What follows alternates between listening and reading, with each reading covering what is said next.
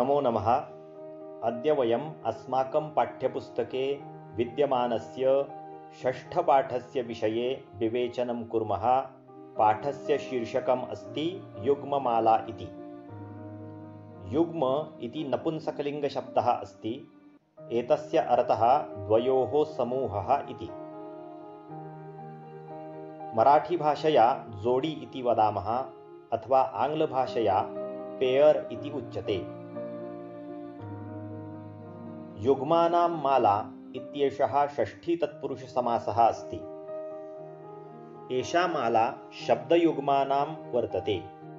शब्दयुग्मानां कानिचन उदाहरणानि अत्र दत्तानि सन्ति। यथा तथा यदा तदा यदि तर्हि यावत् तावत् इत्येतानि शब्दयुग्मानि वर्तन्ते। एतेषां प्रयोगेण वाक्यस्य सौन्दर्यं वर्धते। अतः संस्कृतभाषायाम् एतेषां प्रचुरमात्रया प्रयोगः भवति। अस्मिन् पाठे ये श्लोकाः विद्यमानाः सन्ति, तेषु श्लोकेषु एतेषां युग्मानां कुशलतया उपयोगः कृतः अस्ति। अतः तेन श्लोकानां सौन्दर्यं वर्धितम् अस्ति। एतेषां शब्दयुग्मानां व्यवहारे कथम् उपयोगः भवति? तस्य दिग्दर्शनार्थम् अत्र कानिचन वाक्यानि दत्तानि सन्ति। प्रथमं युग्मम् अस्ति यथा तथा इति। उदाहरणार्थं, यथा अहं वदामि तथा करोतु।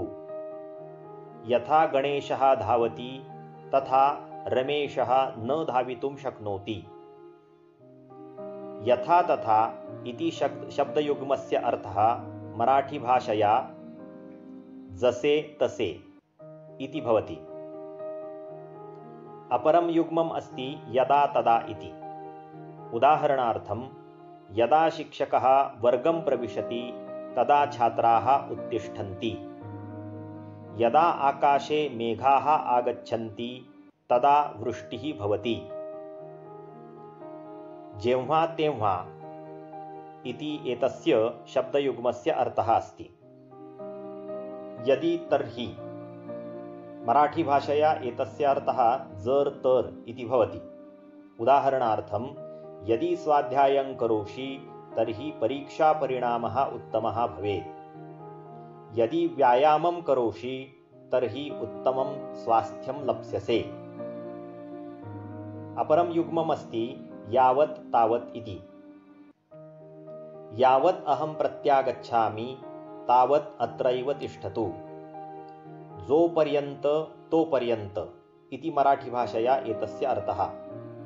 अत्र एतत् युग्मं क्रियाविशेषणत्वेन उपयोजितमस्ति। अतः एतत् अव्ययम्। द्वितीये उदाहरणे यावत् जलं समुद्रे तावत् न नद्याम्।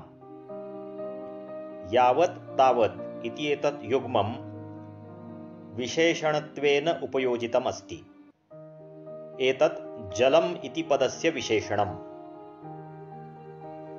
अग्रिमं युग्मम् अस्ति यद्यपि तथापि। उदाहरणार्थं यद्यपि अहं धावन् आगतवान् तथापि मम विलम्बः अभवत्।